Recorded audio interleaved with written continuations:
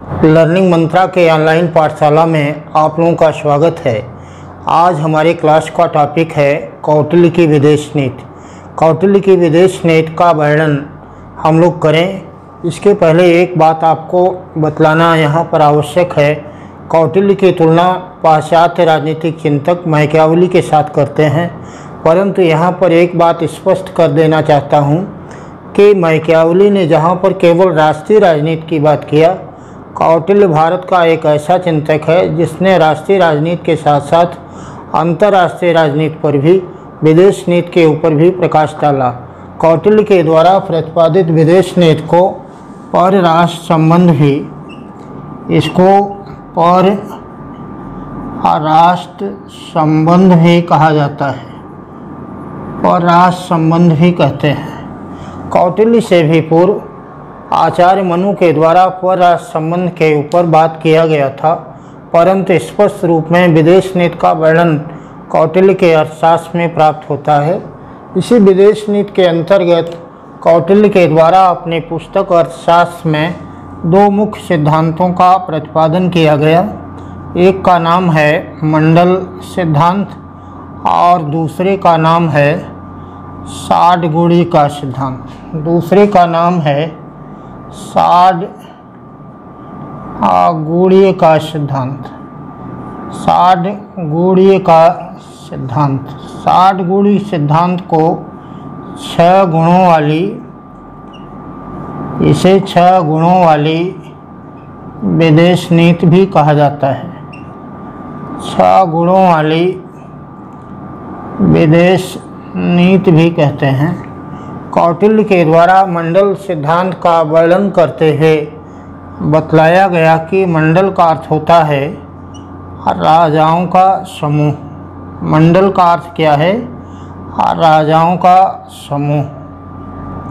का इस राजाओं के समूह में केंद्र में जो राजा रहता है, उसे बेजिगीशु कहा जाता है। बीजी गीशु का अर्थ है विजय की विजय की इच्छा रखने वाला। विजय की इच्छा रखने वाला राजा। कौटिल ने इस बात को कहा कि मंडल सिद्धांत के केंद्र में जो राजा होता है, वह बिजगीशु है, पराक्रमी है और वह अपने साम्राज्य की सीमाओं के विस्तार की इच्छा रखता है। वह एक ऐसा राजा है जो राज्य की सुरक्षा के प्रति निरंतर प्रयत्नशील रहता है। बिजगीशु और राजा के पास में जो राज होता है, उसे आरी कहा जाता है और आरी के बगल में जो राज होता है, उसको मित्र कहते हैं। आ मित्र के पास में जो रहता है, वह आर्य मित्र कहलाता है। वह क्या कहलाता है? आर्य मित्र कौटिल्य के द्वारा इस बात को बतलाया गया कि जिन राज्यों की सीमाएँ एक दूसरे के साथ मेल खाते हैं, परंपरागत रूप में वे एक दूसरे के शत्रु होते हैं अगर आधुनिक अंतर्राष्ट्रीय राजनीति के संदर्भ में इस बात को समझें तो भारत का चीन पड़ोसी राज्य है जिसकी सीमाएँ मिलती हैं।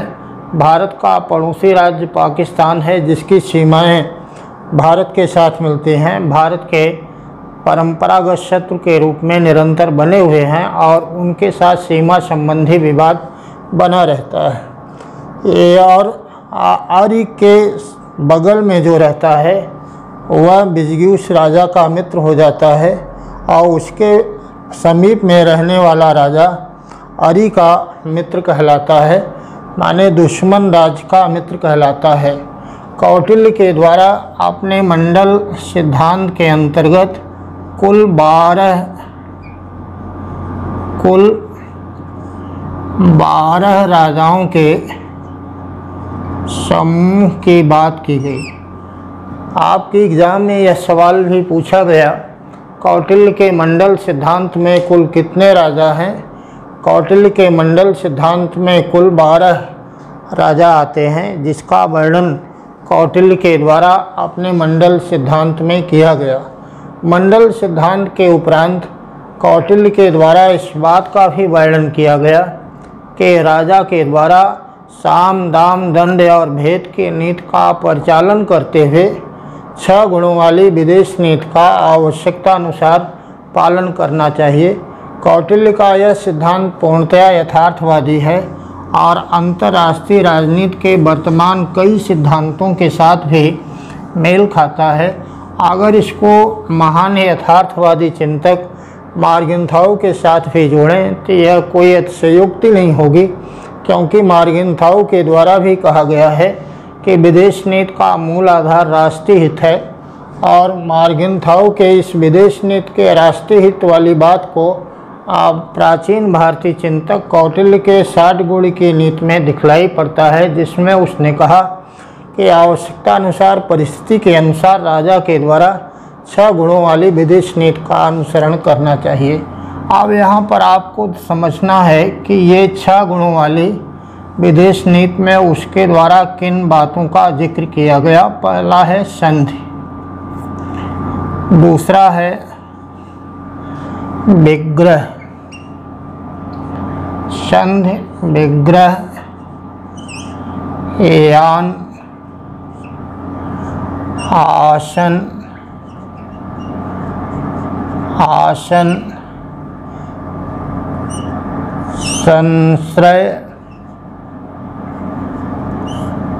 एवं द्वैधी भाव। द्वैधी भाव। अब यहाँ पर समझना है कि आखिर संध क्या है। कौटिल्य के द्वारा बिजगीस राजा की तो बात की गई, परंतु यह बिजगीस प्रत्येक बारह राजाओं के समूह का केंद्रीय राजा है और उसको अपने राज्य को सफल बनाने के लिए छह गुणों की विदेश नीति का पालन किस प्रकार से करना चाहिए? उसने कहा कि संध का सामान्य अर्थ है समझौता करना। यदि राजा शत्रु राज्य के तुलना में यदि राजा शत्रु राज्य की तुलना में अपने आप को कमज़ोर पाता है तो उसको संध कर लेना चाहिए। और जब वह शक्तिशाली हो जाए, तब आ उस राज्य के साथ पुनः अपने नए तरीके से संबंध का निर्माण करना चाहिए। इसलिए संधि का उद्देश्य है अपने आप को राजा के द्वारा शक्तिशाली बनाना। विग्रह का अर्थ होता है युद्ध। यदि राजा शक्तिशाली है तो उसके द्वारा युद्ध के नीति का अनुसरण किया जा सकता है। यान का अर्थ होता है वास्तविक आक्रमण। वास्तविक आक्रमण करने से पूर्व, राजा के द्वारा शत्रु देश की शक्ति का आकलन करना आवश्यक है। शत्रु देश की शक्ति का आकलन करके वह इस बात से संतुष्ट हो जाए कि यदि आक्रमण करते हैं तो हमारी जीत होगी, तभी उसे वास्तविक रूप में आक्रमण करना चाहिए। यहाँ स्मरणीय बिंदु यह है कि विग्रह और यान में केवल मात्रात्मक अंतर ही पाया जाता है। इसमें केवल मात्रात्मक अंतर ही पाया जाता है। आ, क्योंकि युद्ध का मतलब है तैयारी करना और यान का अर्थ है वास्तविक रूप में आ, आक्रमण कर देना। आसन को तटस्थता कहते हैं। आसन को क्या कहा गया है? तटस्थता। तटस्थता का अर्थ है कि अपने आप को अलग रख लेना। अलग रखने का अर्थ है कि यदि आपकी शक्ति क्षीण है तो उस समय अंतर्राष्ट्रीय राजनीति में अपने आप को अलग थलग रखना, तब तक अलग थलग रखना आवश्यक है, जब तक कि वह राज्य शक्तिशाली न हो जाए। संश्रय का अर्थ होता है सहारा लेना। सहारा लेना। सहारा लेने का अर्थ है कि एक राज्य यदि शत्रु की तुलना में कमज़ोर है तो अपने शक्ति की इजाफा करने के लिए वह किसी अपने मित्र राज्य का सहारा ले ले, ताकि वह और भी अधिक शक्तिशाली बन जाए। इसको सहारा लेना कहा गया। द्वैधि भाव का अर्थ होता है, दो गुणों वाली, दो गुणों वाली विदेश नीति का दो गुणों वाली विदेश नीति का अनुसरण करना। कौटिल ने राजा को सलाह दिया कि राजा को एक साथ, किसी एक राज्य के साथ संधि के तत्व का अनुपालन करना चाहिए। तो किसी अन्य राज्य के साथ उसे युद्ध की नीति का भी अनुसरण कर लेना, यह तार्किक माना जाता है। कहा कि जैसी आवश्यकता हो वह अपने राष्ट्रीय हितों के अनुसार राज्य की सुरक्षा को देखकर एक राज्य के साथ शत्रुवत संबंध और दूसरे राज्य के साथ मित्रवत संबंध को लागू कर सकता है। इस प्रकार से अगर कौटिल्य के विदेश नीति का आप तथ्यात्मक और गुणात्मक मूल्यांकन करें तो आपको यह बात मालूम होगा कि जिस विदेश नीति के तत्व आज अंतर्राष्ट्रीय राजनीति में क्रियान्वित हैं, उनका आधार आचार्य कौटिल्य के राजनीतिक चिंतन में दिखलाई पड़ता है। विशेषकर छह गुणों वाली विदेश नीति के अंतर्गत और कहा है कि राजा के द्वारा अपने राष्ट्रीय हितों के लिए कुछ भी करने को सदैव तैयार रहना चाहिए। बच्चों, देखिए, ये तो हम लोगों का कौटिल्य के विदेश नीति का एक संक्षिप्त अध्ययन है। इसको आपने पढ़ा।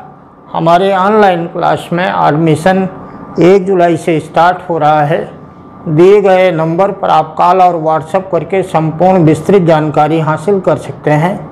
आज का यह क्लास समूह का यहीं तक है। आप लगातार देखते रहें लर्निंग मंत्रा के ऑनलाइन पाठशाला को। अगले वीडियो में हम लोग फिर मिलते हैं। तब तक के लिए जय हिंद।